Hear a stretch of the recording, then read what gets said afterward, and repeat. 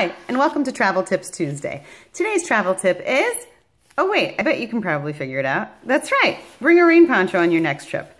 Packing one of these is much easier than packing one of these on your next trip.